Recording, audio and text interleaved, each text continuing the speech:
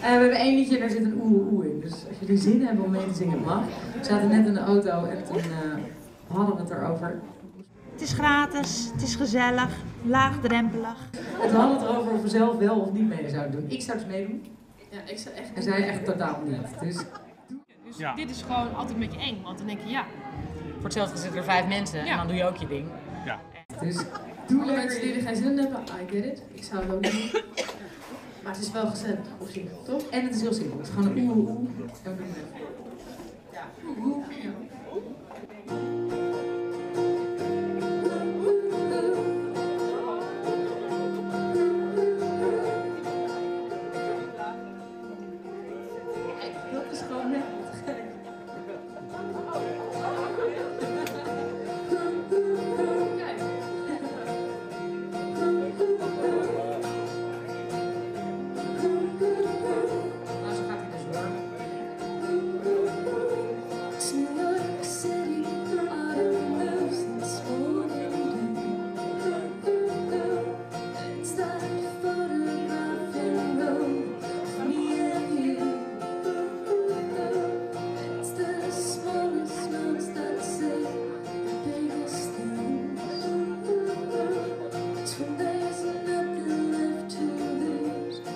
I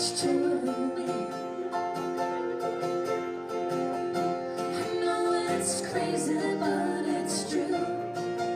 I swear, my life ain't half as good when you're not here. So come on home, won't you come?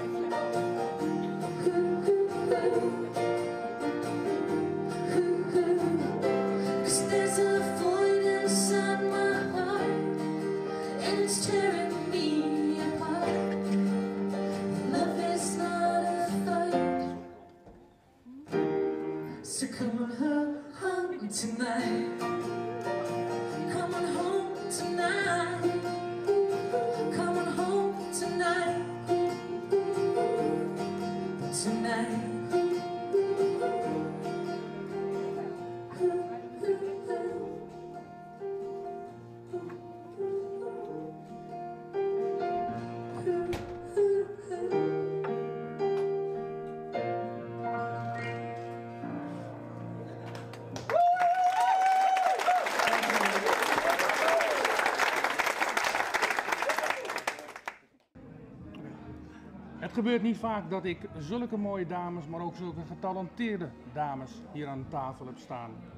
Vonder en Bloem uit Amsterdam, gespeeld. Het klonk fantastisch. Ja? Vond je ja, dat nou, dankjewel. Echt mooi. Eerste vraag. Waarom zijn jullie nog niet doorgebroken in Nederland? Waarom staan jullie niet in de hitlijst? Waarom niet op nummer 1? Ja, nou ja. Hele nou, goede, ja. vraag. Ik heb geen idee. We doen in ieder geval alles eraan om, uh, om, om, ja, heel veel te spelen. En op verschillende plekken te spelen. We hebben uh, verschillende toertjes al gedaan om onze naamsbekendheid en onze muziek een beetje uh, aan mensen te laten horen en zo. En voor mijn gevoel loopt het ook wel steeds beter, toch? Ja, nee, we zijn klein begonnen. Ik denk echt als muzikant, je kan thuis gaan zitten op de bank en wachten tot er iets gebeurt. Maar er gebeurde nog niet heel veel. En, dus we zijn vijf maanden in een huiskamerbus het land doorgegaan. En toen hebben we nog een beach tour gedaan. Toen dachten we, nu willen we het groot doen. Zijn we 80 dagen op Schiphol gaan spelen. En hebben we in 80 dagen de wereld rond. Dat was eigenlijk eh, het idee. Hele grote wereldkaart. En iedereen die ons debuutalbum Simple Peace of Mind kocht, die mocht een sticker plakken.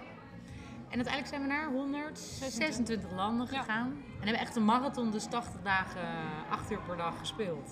Dus er zijn wel mensen die ons kennen nu onderhand. Is, ja. ja, maar ja, de grote doorbraak, ja. Je Misschien weet nooit wanneer dat komt. Maakt ook niet uit. Zoals we het nu doen, vind ik het ook leuk. Ja? Ja. Ja. Er zit nog steeds een soort van groei in en dat is altijd belangrijk, vind Ja. ik. Dus, eh, Maar ja, het was vol vandaag in Ja. Meppel. Dus. Was het ook? En we kwamen Ik heb, ik heb gehoord 200 man. Ja, dat hoorde ik ook, dus dat is wel te gek. Dat is leuk. Ja. En ik ken niemand in Meppel. Tenminste, Ik ook niet. Nee, want Jullie jullie, komen uit Amsterdam, hè? Ja, dat Ja, ja. met Amsterdam. En maar ja. kijk, als je in Amsterdam in een volle zaal zit, dan denk je nog van, oh, die ken ik, die ken ik, die ken ik. Dus Ja. dit is gewoon altijd een beetje eng, want dan denk je, ja. Voor hetzelfde zitten er vijf mensen Ja. en dan doe je ook je ding. Ja. En, eh, Nee, het was superleuk. Ja, echt gek. Leuk, eh, leuke sfeer ook. Wie van jullie twee schrijft? Allebei? Ja, Schrijf samen een kaas van de teksten. Ben ik meer van de muziek ook. Met dan, jij op de piano, jij met de gitaar. En elkaar leren kennen in de tram. ja, Lijn je- 10 in Amsterdam. Ja, ja. ja ik, het eh, gebeurt mij nooit dat ik in het openbaar vervoer praat met mensen eigenlijk, bijna. Jij wel of niet? Ach, als het moet vind ik het niet erg, maar nee. Nee, het is niet dat dat je vrienden gaat maken in de tram of dat je denkt van... Ja, misschien wel. Nee, ik ben op zo'n leeftijd gekomen dat ze nu aan mij vragen, wilt u gaan zitten? Oh nee, toch? Ja. Nee, dat zo, geloof ik serieus niet. Zo, Nee, dat geloof ik ook dat niet. kan niet. Nee, nou, wij liepen in ieder geval elkaar tegen het lijf in de tram en toen Ja. gingen we met elkaar kletsen. En toen eh, bleek dat we heel dicht bij elkaar wonen ook. Toen heeft ze mij eh pianoles gegeven, drie keer. En toen had ik een liedje gemaakt en toen zei ik, misschien kan jij daar iets leuks mee. En dat heeft ze gedaan. En dat was eigenlijk zo te gek, vond ik. Dat ik dacht, nou, ik hoef niet meer alleen hoor. Maar hoe lang spelen jullie samen dan? Nu Vijf- vijf, jaar. vijf en een half Ruim jaar. vijf jaar. Ja. En ben je dan ook heel gek vriendinnen van elkaar? Ja, tuurlijk. Ja. Een soort familie. Ja, ik denk als je zoveel met Ja. elkaar optrekt, dat dat ook wel moet. Ja. Nou ja, en in zo'n bus en op Ja. Schiphol 80 dagen. Je leert elkaar heel goed kennen. Nou, we En, zijn wel, eh, ik denk dat meer inderdaad van een soort van zussen zijn, weet je wel. Iemand waar je echt alles tegen kan zeggen. En die ook alles ziet gelijk al aan de manier hoe je kijkt of praat. Of... We kennen elkaar heel goed. Dus dat is gunstig. Maar ik denk ook dat we die vijf jaar nodig hebben gehad om in een soort balans. Want we kennen elkaar, dus we hadden elkaar nog nooit gezien. Als je dan samen gaat zingen, gaat spelen en gaat optreden, dan moet je toch in een soort balansachtig iets komen. En op dat punt zijn we nu echt, denk ik. Vind je niet? Voor het, het tweede album komt eraan. Daar zijn we nu mee bezig. En eh, ja, het is nog nooit zo goed eh, gegaan eigenlijk. Dus het gaat wel steeds een stapje verder, een stapje hoger. Ja, snap je nou, maar we willen ook steeds een niveau, je wil steeds beter worden en je Ja. wil meer. En, eh, en dat wil je vanaf het begin al, maar dan kan je het misschien nog niet. En ik denk dat we nu echt op het punt zijn dat we het gewoon ook kunnen. Ja, soms, weet je, nu Ja. loopt het ook echt een beetje vanzelf af en toe.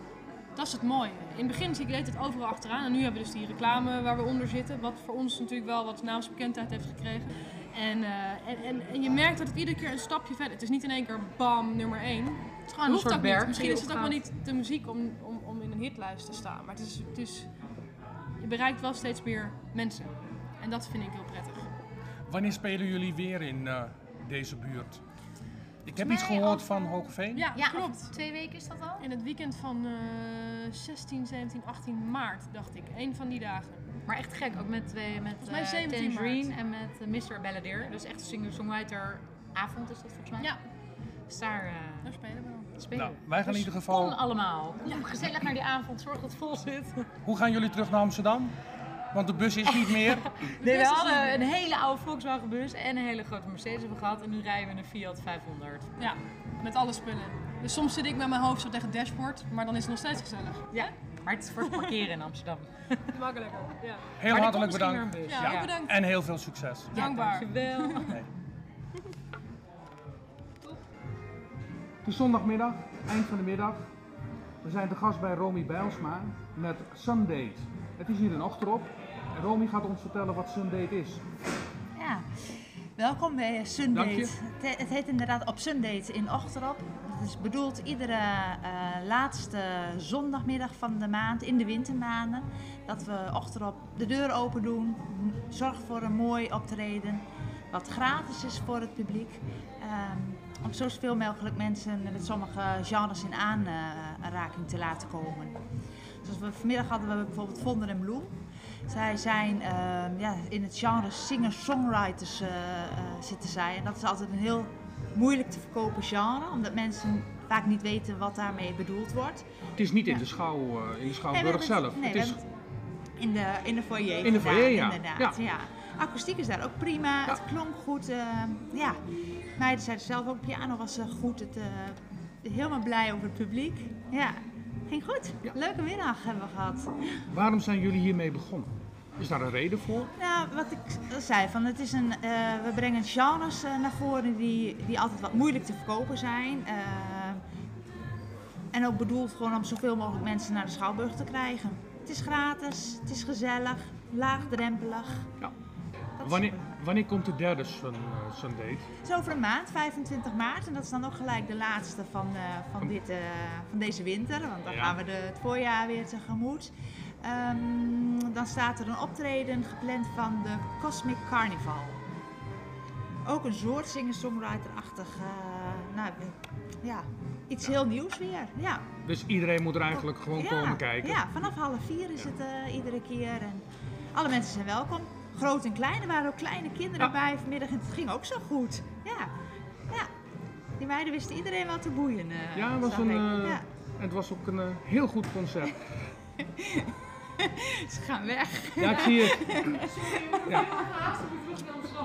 Is goed. Graag gedaan. Goeie reis. Goeie reis. Tot ziens. Dag. Volgende keer. Dan is volgende maand dus de laatste. 25 maart. Hoe laat? Half vier. Foyer van Ochterop. Zo is het. Dankjewel. Iedereen is welkom. Bedankt.